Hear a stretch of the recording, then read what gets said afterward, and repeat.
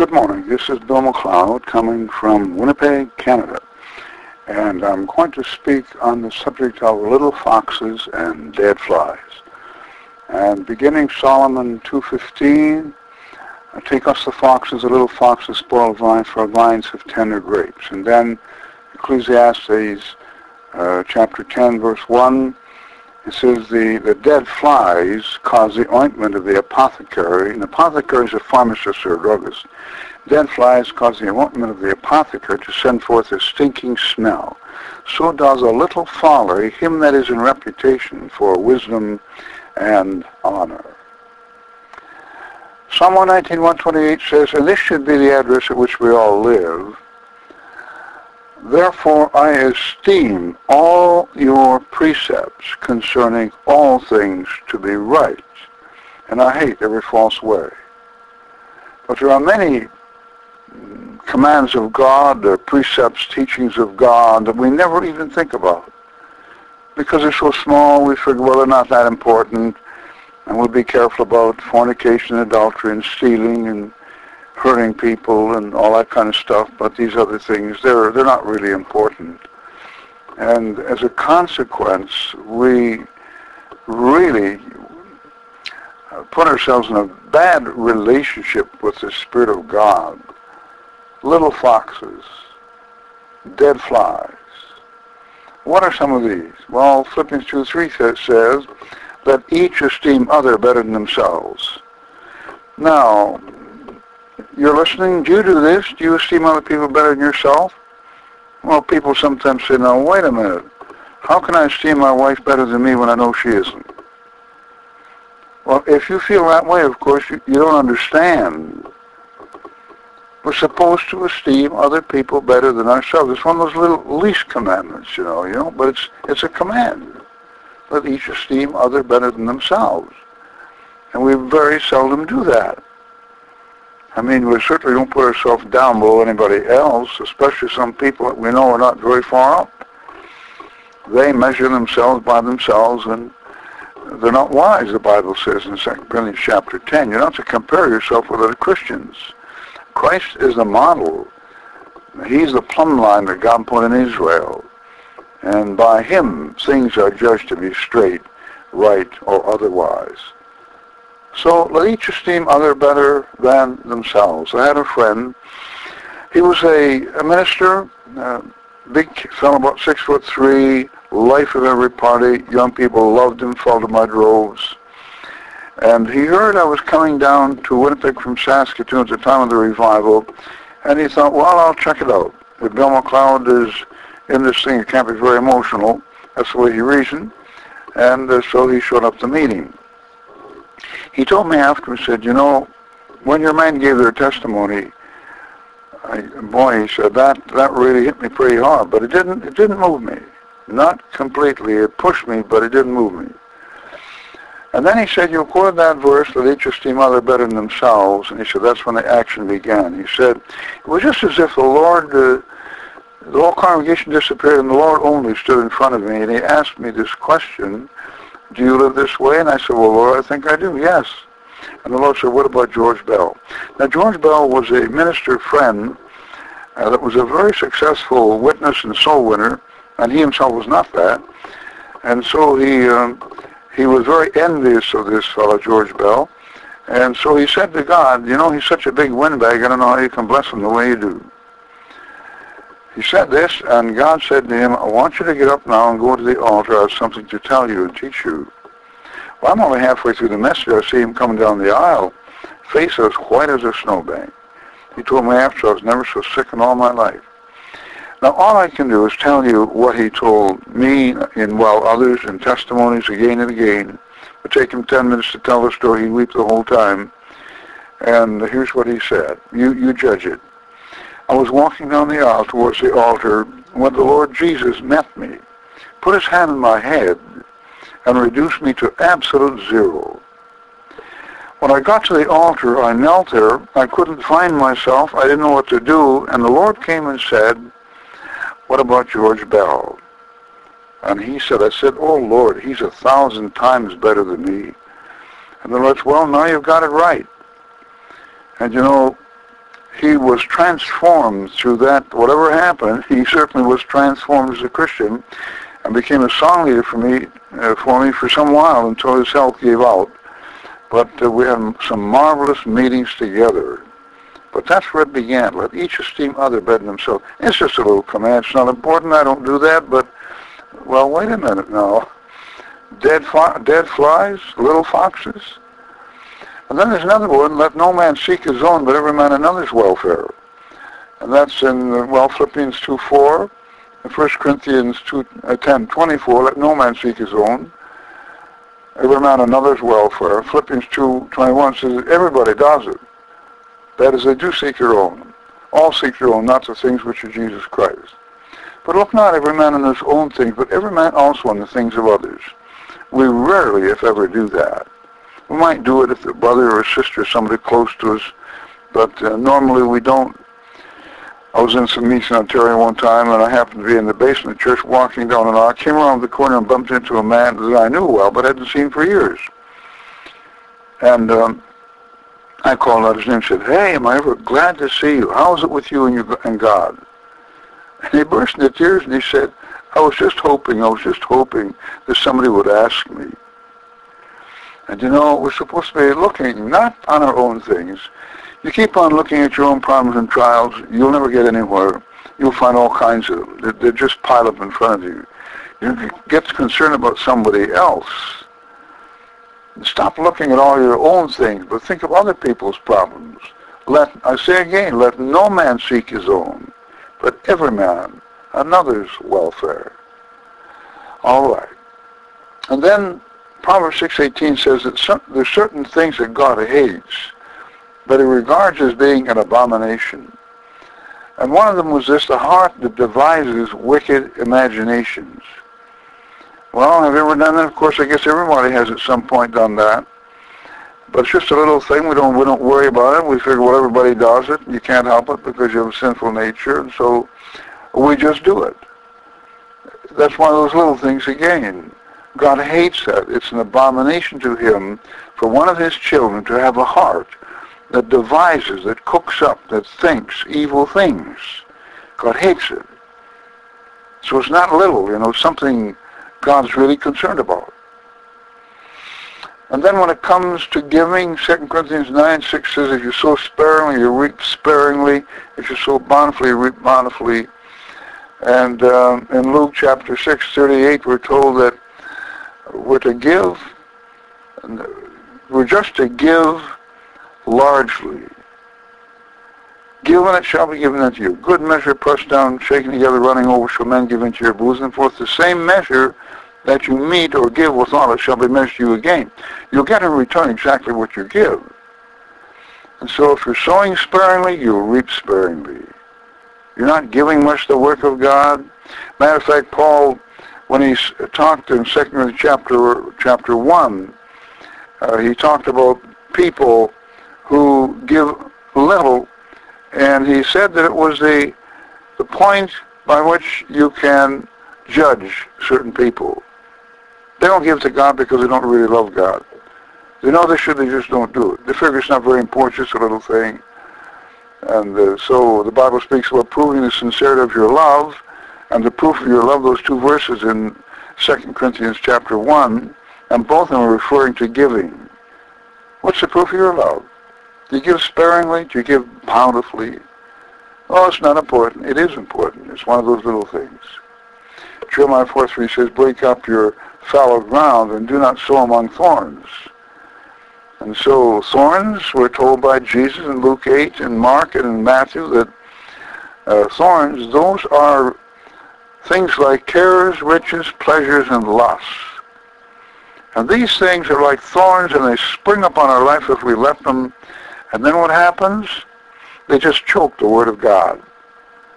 You know what the Bible says, these are these, the sincere milk of the word that we may grow thereby in 1 Peter chapter 2. And people, I've had people say this, well, you know what? I've asked God to give me a hunger for the Bible and he doesn't do it and I just, I'm, I'm through in five minutes. One preacher told me, he said, five minutes a day is all I can do. When it comes to reading the Bible, I just don't get anything out of it. You see, the problem is you have to look at the text in its context. There's an old saying that a text taken from its context becomes a pretext for anything. What's the context say? It says, Wherefore, laying aside all malice, all guile, and hypocrisies, and envies, and all evil speakings, as newborn babes desire the sincere milk of the word.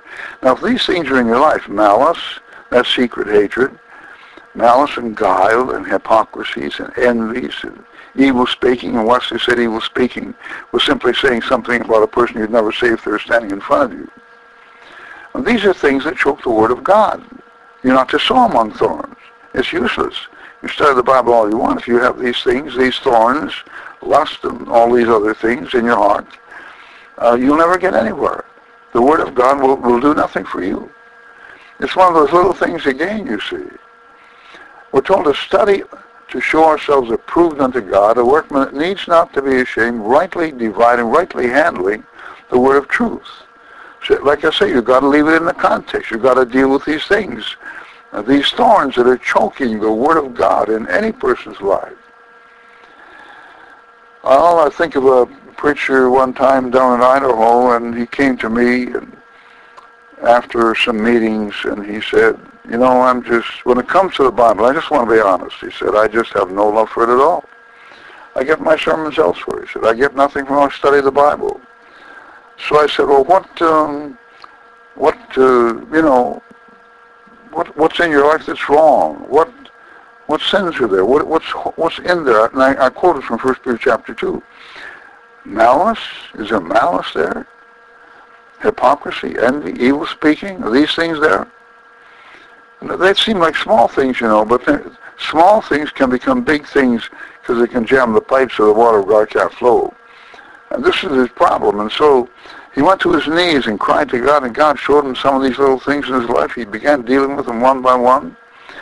He was back. He he wasn't in the church was holding meetings, and he'd been visiting from some distance away. And he he came back about four nights later, and he told me after meeting. He said, "Man," he said, "you know what? I read the Bible five hours today. I have such a hunger for it. I just can't leave it alone." You see, he got rid of the weeds. You're not to sow among weeds.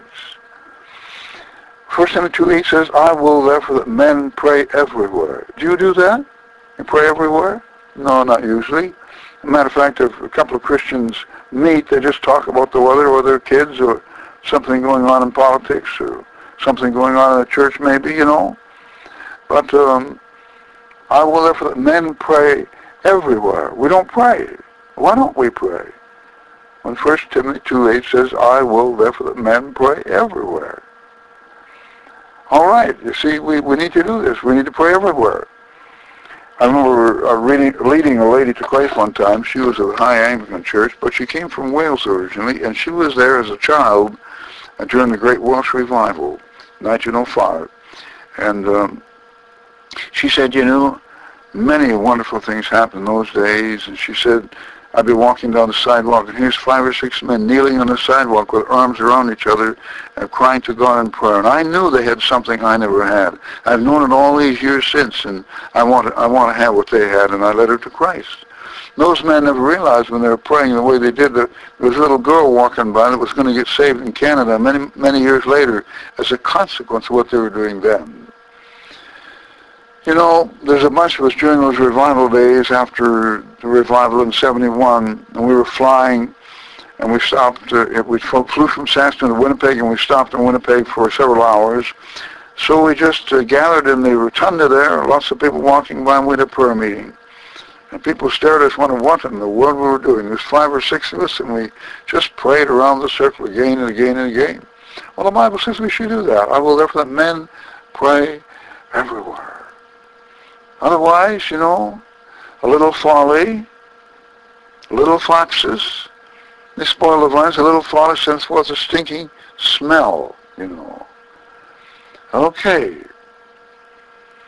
The ointment of the apothecary, see, an apothecary is a druggist or a pharmacist, and he's talking about some things they might might uh, mix together. He's probably referring to something in a more primitive place than we understand today. It sa- that's what it says. You know, just a little folly is like dead flowers. and it causes the ointment of the apothecary to send forth a stinking smell. And sometimes our life stinks because we have tried a little folly, a little foolish, not a big thing, but a little thing. Well, that's what it says. Solomon 2.15, Ecclesiastes 10.1. And then 1 Peter 1.22, seeing you purified your souls and obeying the Spirit, it says we are to have fervent love among yourselves. Fervent love. Seeing you purified your souls and obeying the truth through the Spirit, unto what? Unto unfeigned the love of the brethren. See that you love one another with a pure heart, fervently. Do we do that? It's one of those commandments of God that we should be obeying, you know. We're told, for example, 1 Corinthians 16, 14, that all your things be done with love. Love is not something you put on for a special occasion when a bunch of relatives are coming to stay at your place uninvited. They're just coming for a weekend. You don't know how you're going to put up with it. I remember a couple telling me they had this happening to them, so they stood in front of the mirror each day for an hour or two and practiced smiling because they didn't want these people, didn't love these people. We're supposed to love one another with pure heart fervently. That's one of those least commandments, you know, okay? Ephesians 5 says, Husbands, love your wives as Christ loved the church. Love your wife as Christ, or as you love your own body. And love your wife as you love yourself. Three times we're told to do this. And, uh, you know, some women say the only time my husband speaks love me is in the bedroom. And we know, of course, what that means. Husbands, love your wives as Christ loved the church. And then wives, as the church is subject unto Christ, so let the wives be to their own husbands in everything. I heard a preacher say something recently. He quoted that, and then he said, now, wives are to be submissive to your husband and everything, but remember, it says that um, we Christians are to submit to one another in the fear of God. Submitting to one another in the fear of God. And so he said, that means husbands have to submit themselves to the wives too. So that sort of wipes out this other statement. I was very sorry he said it. He had a wide radio audience, and I'm sure he created problems in some homes. You see, in the first case, God was talking to wives and husbands. In the second case, he was talking to the church. And you can't mix the two together. He tried to. He did. And it was really sad. I'm not saying that husbands have to be belligerent and dictatorial in the home. It's not that at all. But in a loving way. And the wife, as the church is subject unto Christ, so let the wives be to their own husbands in everything. I say again, that was to husbands and wives. And the other, submitting yourselves one to another, fear of God, that was for the church. Okay, again, it's, you know, making sure that you're not taking a text out of its context. Timothy 2.10 says we're to adorn the doctrine of God our Savior in all things. The word adorn there is a word, a Greek word from which we get the English word cosmetic. It means we're to make the gospel look as attractive as possible. It doesn't mean we change the message, but we live a life that's so attractive, so, so close to Christ, that we are literally adorning the doctrine of the gospel we witness to and, and perhaps preach even. And so, we're to adorn the doctrine of God our Savior in all things. Are we doing that? Well, it's one of those little things. That, you know, I don't bother. It's, you know, we have a good preacher in our church. And then we're not to grieve or quench or resist or insult the Spirit of God. There's seven different ways of sinning against the Spirit of God. I mentioned a few.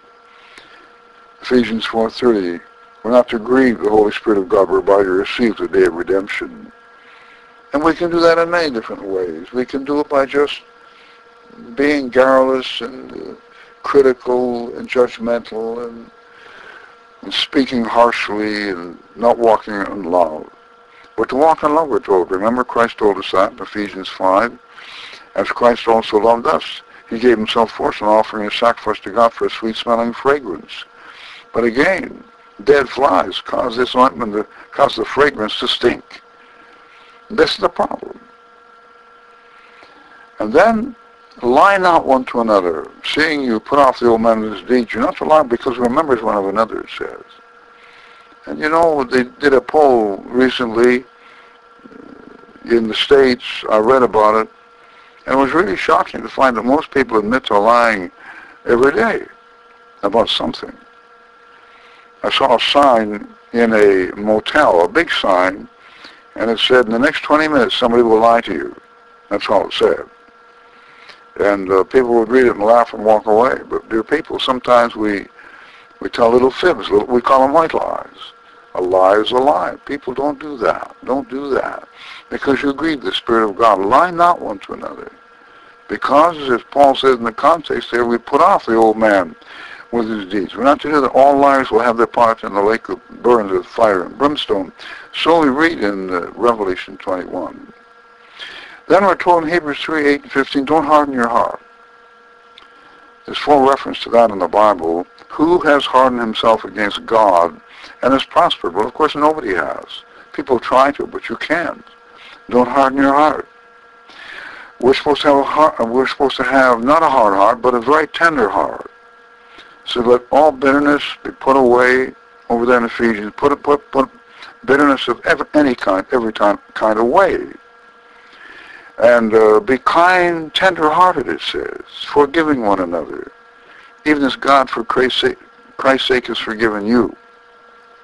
The Spirit of God, in inspiring Paul to write that, he foresaw that we would have people say, things, they'd sin against us, and, and we could have resentment in our heart. And so he said, we're to be kind and tender-hearted, forgiving one another, even as God, for Christ's sake, has forgiven you. So it's on the basis of God's forgiveness for us. He has freely forgiven us all trespasses. So on that basis, he's calling on us to forgive others, you see. You know, a man in one of my meetings, he came to me, he told me the Lord spoke to me the other night, and I went home and I sought God, and he showed me 35 different things that are wrong in my life. Small things, he said, but important things. And so he said, I call it my death list. I sing in a quartet. I told him I will not sing again until I've dealt with all 35 of these problems. And there were small things like we're talking about here. Small things, but he saw it was a death list.